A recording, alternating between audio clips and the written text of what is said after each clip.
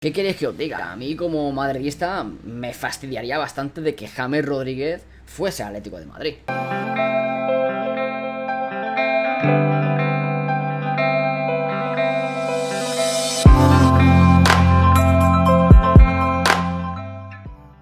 Hey, ¿qué pasa? ¿Cómo estáis? Welcome otra vez aquí en JKC Life y bienvenidos a un nuevo vídeo para traeros las últimas informaciones tanto del Real Madrid como del Fútbol Club Barcelona, como del Atlético de Madrid también, entre otros. Pero antes de comenzar, quiero insistir y quiero recordarte que si no estás suscrito a este canal, que lo hagas ya para no perderte ningún vídeo más. Así que id abajo ahora mismo, suscribiros y seguid con el vídeo de las últimas informaciones del Real Madrid, del Barcelona y de ahora del Atlético de Madrid.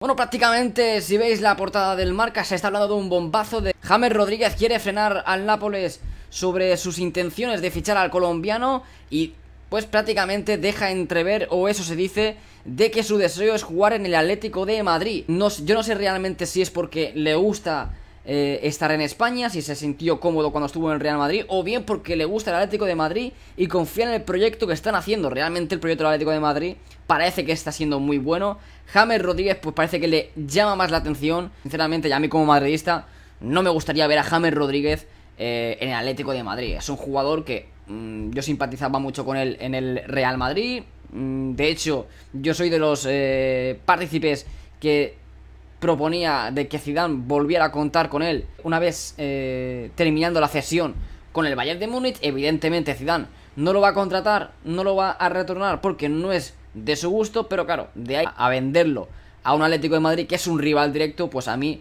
la verdad que no me apetece. Ya lo hemos hecho con Marco Llorente, el cual me ha molestado bastante y me molestaría, por supuesto, eh, muchísimo el que el Atlético de Madrid nos fichara también a James Rodríguez, porque vamos, esto ya sería un hazme reír, ¿eh? De que le diésemos aquí todos los jugadores ex del Real Madrid, ahora para el Atlético con su, nueva, con su nuevo proyecto, la verdad que me, me cabrearía. O, evidentemente, cada jugador juega donde quiere jugar. Y si Atlético lo quiere y James quiere ir, oye, pues no puedo hacer nada, pero a mí realmente no me gustaría. Así que espero que eh, se decida pronto.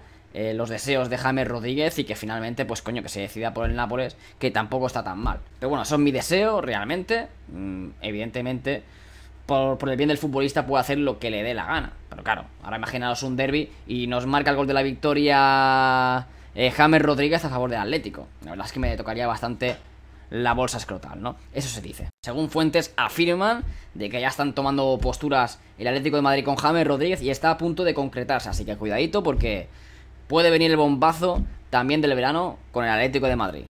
Bueno, mm, Griezmann ha visitado el Camp Nou, ha visitado la tienda oficial del Fútbol Club Barcelona, posando ya con el escudo y ha dejado las primeras declaraciones como jugador del Fútbol Club Barcelona. Estoy muy feliz, con mucha ilusión y con ganas de trabajar con el grupo. Aquí tengo nuevos retos, nuevos objetivos y ojalá pueda hacerlo de la mejor manera posible. El objetivo es ganarlo todo, Copa, Liga y Champions. Hablé con Samuel Umtiti y con Ousmane Dembélé, con los que tengo amistad y tengo ganas de pasarlo bien con ellos. Yo tenía ganas de venir aquí y mi familia me seguía. A veces tienes que tomar decisiones, es una alegría jugar a su lado, se refiere a Messi, quiero saber cómo es el día a día en los entrenamientos, este es un gran club y tengo ganas de trabajar con mis compañeros y para el Mister. Me divierto fuera y dentro del campo y ojalá pueda traer muchas alegrías y que disfrutemos juntos, explicó eh, Griezmann como eh, nuevo jugador del Fútbol Club Barcelona. Imagino que la mayoría de aficionados culés estarán ilusionados con este fichaje, lo puedo lograr entender. Yo también lo estaba con Eden Hazard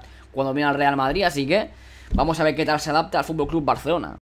Y por último os quiero dejar unas pequeñas declaraciones, evidentemente no en audio porque paso de que me pongan un segundo strike por derechos de copyright, pero sí que os puedo decir la apabullante puñalada que le ha metido Neymar al PSG una vez más, ¿eh?